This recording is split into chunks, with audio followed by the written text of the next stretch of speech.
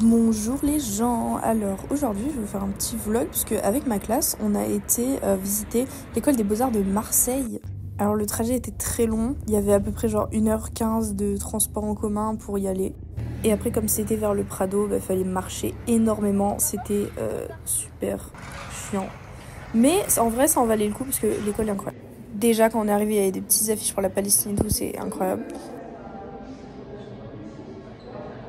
Mais je pense que la chose qui était le plus incroyable est que là-bas, le chocolat chaud était à 30 centimes. Bref, après ce petit chocolat, on est allé euh, poser nos affaires dans une salle. Et on a commencé la visite de l'école, donc déjà dehors, euh, partout il y avait plein de petites infrastructures trop stylées, genre là par exemple. Et les gens s'incluent dans mes vlogs, mais vous voyez, genre par exemple sur les poteaux, bah, il y avait à chaque fois genre des petites, euh, des petits collages. Par exemple là au début il y avait des cailloux. Et là par exemple, mais regardez-moi ça. Mais, quelle dinguerie. Des petits dessins au Posca trop mignons là sur tous les trucs. C'est vraiment trop stylé. Genre partout dans toute l'école il y avait plein de... Partout il y avait genre de, de l'art quoi, vraiment. Et du coup, c'est incroyable parce qu'on a pu découvrir comment étaient les ateliers. Donc, par exemple, ici, c'est une salle qui est euh, à disposition de toutes les deuxième années ou troisième années, je sais plus exactement, où euh, elles peuvent réaliser de la peinture. Donc, regardez déjà, ils ont tous des tableaux incroyables. Je suis désolée, mais moi, je suis conquise.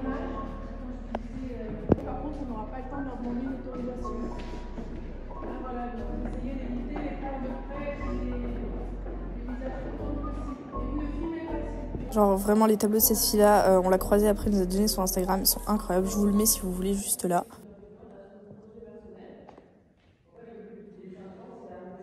Vraiment, la chose qui est fou, c'est genre que même si on est genre dans un atelier où ils travaillent, on a l'impression d'être à une mini exposition parce que ben c'est comme si le travail qu'ils avaient commencé était mis euh, était figé dans le temps et que nous on pouvait venir comme ça et les observer et je trouve ça juste magnifique. Genre regardez-moi tout ça, c'est tellement de taf et c'est tellement incroyable. Et après ça, on a enchaîné sur les vrais ateliers. Donc là, par exemple, on était à un atelier euh, où on pouvait réaliser de la linogravure et on nous a un peu expliqué comment fonctionnait l'atelier. Donc là, par exemple, on nous parlait euh, des presses. Par exemple, c'est fou parce qu'il y avait un projet qui était accroché euh, au-dessus de nous dans la salle, qui était en train de sécher. Et juste ça, je trouve ça incroyable que tant de gens se réunissent comme ça pour réaliser tant de projets incroyables. Vraiment, moi, j'ai adoré cette visite.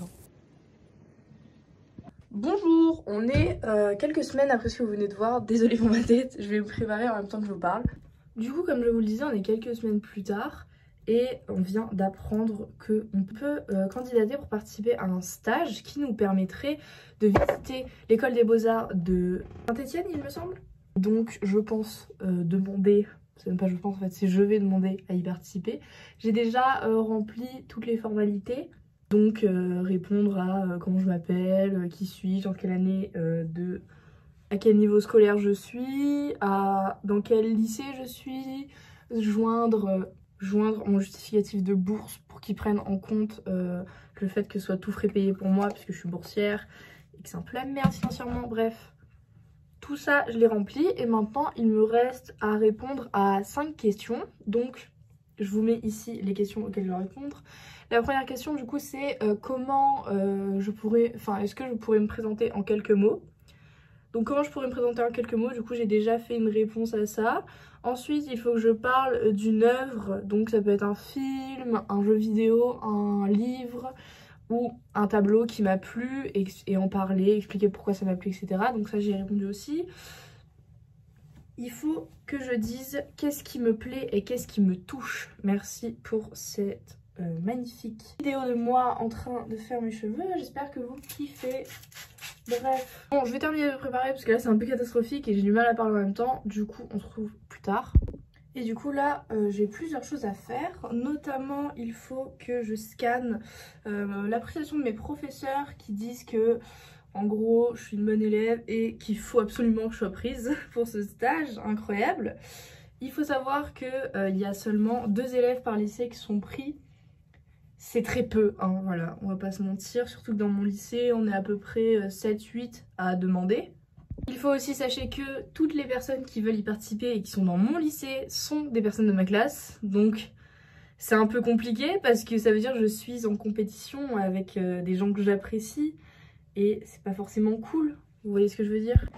Voilà donc, euh, si un jour vous voulez que je vous fasse une vidéo où je vous parle de mes cheveux et de ce que je mets dedans et que je vous fasse une routine, ça me ferait extrêmement plaisir. Mes cheveux c'est comme mes enfants en fait, je m'occupe d'eux tous les jours comme si c'était mes gosses et que ma vie dépendait de ça en fait.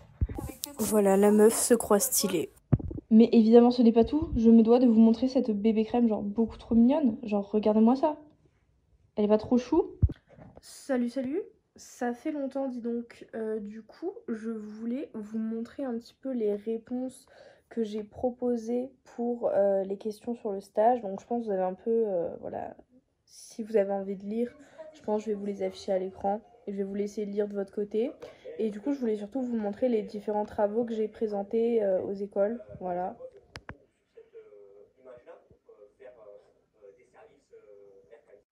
Du coup, comme je suis en STD2A, j'ai renta au maximum. Voilà, j'ai récupéré euh, des projets qu'on a fait en cours, notamment celui-là qui est un travail euh, sur la typographie. Ensuite, j'ai parlé de cette peinture que j'ai réalisée euh, il y a un petit moment. Je crois que je l'avais fait début lycée ou fin... Non, ouais, début lycée en seconde, un truc comme ça. Ce tableau que j'ai fait récemment et que vous pouvez retrouver sur mon Instagram si vous le souhaitez ainsi que cette petite expérimentation avec euh, de la colle chaude et de la bombe de peinture, voilà. Et enfin, les expérimentations d'un travail que j'ai fait euh, lors d'un workshop avec des étudiants en DNMAD. Donc le DNMAD, c'est une formation après la STD2A qui potentiellement pourrait m'intéresser pour l'année prochaine. Ou alors, euh, bah, du coup, en fait, c'est pour ça que je vais faire ce stage à l'école des beaux-arts, enfin que je veux le faire c'est justement pour savoir si je préférerais aller aux Beaux-Arts ou plutôt euh, postuler pour les DNMAT, voilà. Donc sinon j'aimerais faire un DNMAT graphisme, voilà. Après je suis quand même une énorme débile et retardataire, c'est-à-dire que j'ai vraiment envoyé le dossier la veille des fins d'inscription. Je suis choquée. Les gens, on vient de m'appeler pour me dire que j'étais prise. Je suis trop contente. Ça va être trop bien. J'espère que euh, l'hébergement est cool. C'est donc sur cette note positive que je vais couper le vlog ici. Et je ferai une partie 2 du coup où je serai au stage et où je montrerai tout ce qu'on fait et voilà j'ai trop hâte, j'espère que ça va être trop bien.